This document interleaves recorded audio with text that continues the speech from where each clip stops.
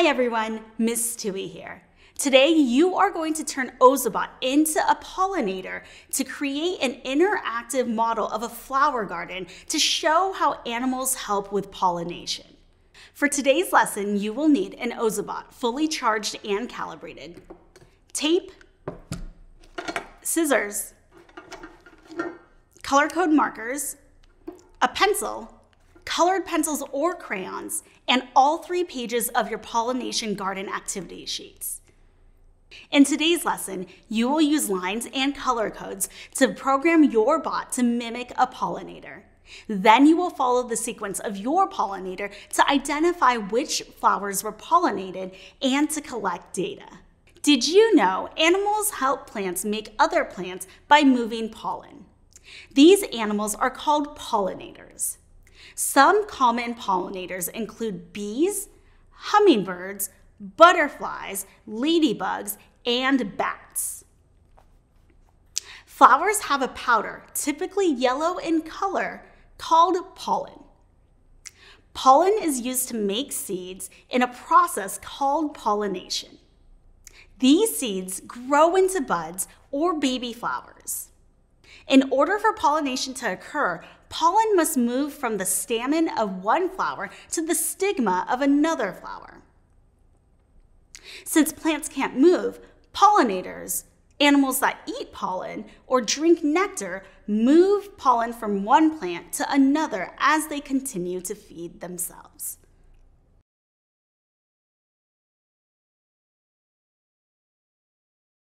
Now that you know about pollinators, it's time to create your interactive model. You will begin with the pollination garden map. The map has multiple lines or pathways for your bot to travel around with 14 missing color codes. In the bottom left of your map is the color codes key to help you put in the correct color sequences to program your bot to act like a pollinator.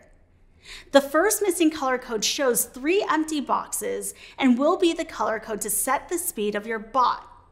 I'm going to have my pollinator travel slow, so I will put in the slow code. The other missing color codes will be spin or win play again. I will use my color code markers to complete each sequence of empty boxes.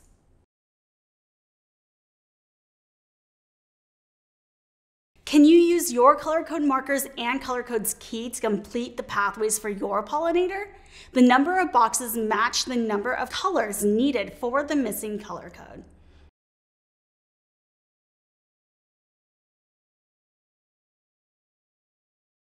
Great job applying your color coding skills to complete the pathways on your model. You're ready to make your map look more like a garden. You will use the pollination garden pieces sheet to help. You will color the flowers using primary colors, red, blue, and yellow. Make sure to use all three colors. For example, I colored three red flowers, four blue flowers, and three yellow flowers. After your flowers are colored, you will cut them out and tape or glue them onto your map. A flower should be placed near each spin code.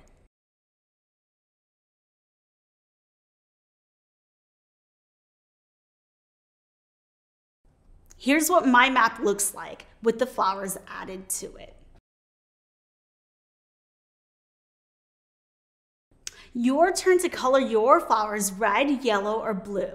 Then cut the flowers out and glue or tape them near a spin code on your map.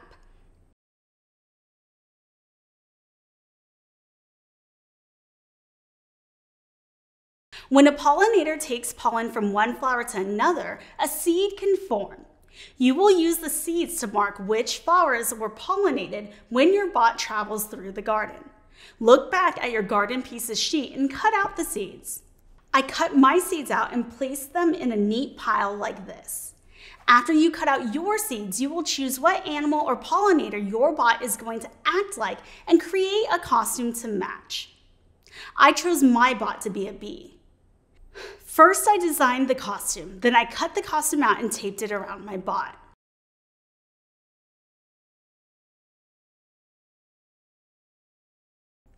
Your turn to cut out the seeds, design a costume for your bot, and dress your bot. Remember to dress your bot as a pollinator a bee, hummingbird, butterfly, ladybug, or bat.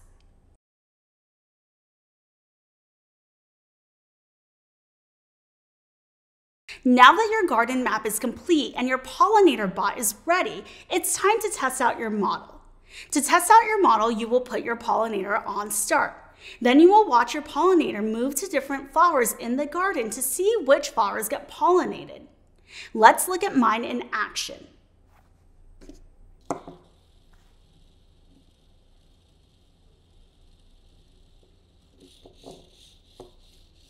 First, my pollinator moved to the red flower.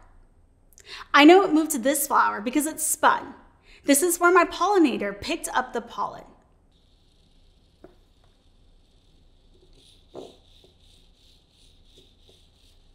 Next, it moved to the yellow flower. I know it moved to this flower because it spun.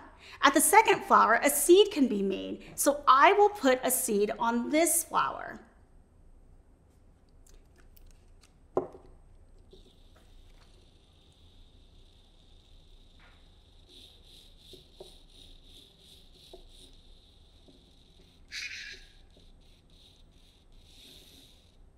Then my pollinator moved to the blue flower. So I will put another seed on the blue flower. Since the paths your bot is traveling along are made of intersecting lines and you have not programmed your bot to move in certain directions, your bot will randomly choose to turn left, right, or move straight. This means each time you run your pollinator from start, it will visit a different number of flowers. Time to test your model. Put your pollinator on start and place seeds on the flowers your animal pollinates. Remember, the first flower does not get pollinated because this is where the animal collects the pollen.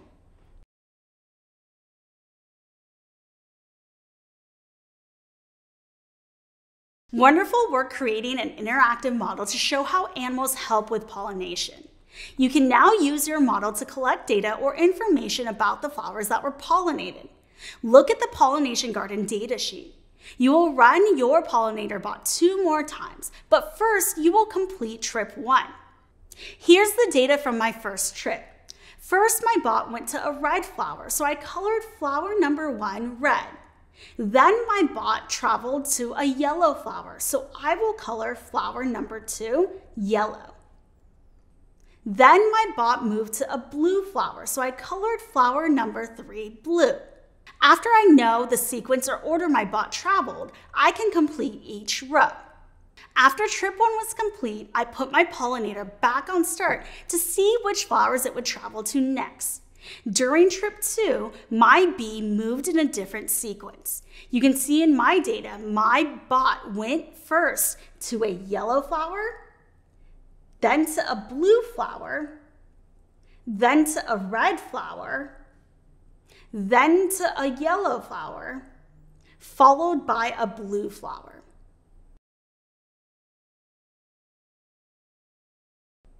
Can you put your bot on start and complete the pollinator trip one chart to track the sequence or order of flowers your animal visited? Then put your bot on start a second time and complete the pollinator trip 2 chart.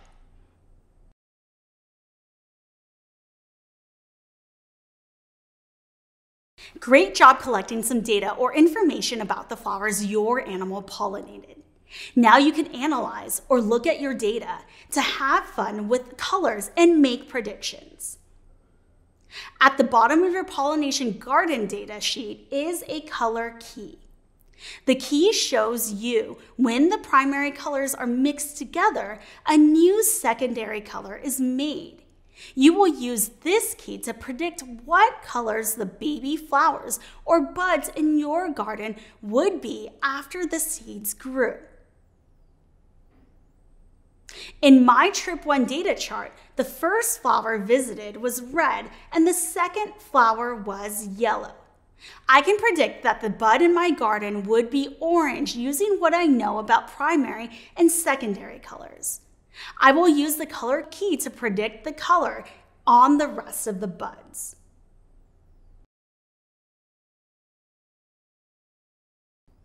Can you use your color key to predict what color the buds in your garden would be?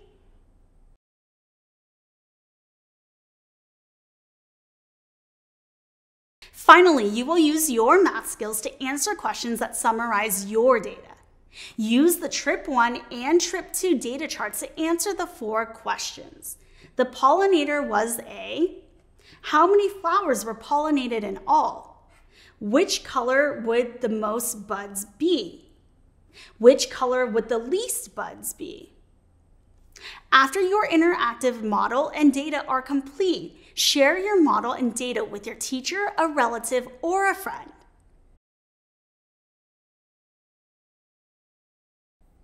Can you answer all four questions to summarize your data? Remember to check the work before you share. Your map should have 14 completed color codes, 10 flowers, one near each spin code. Your data should show the sequence of the two trips your bot took around the garden, the predictions about the colors of your new buds, and the total number of flowers pollinated and buds made.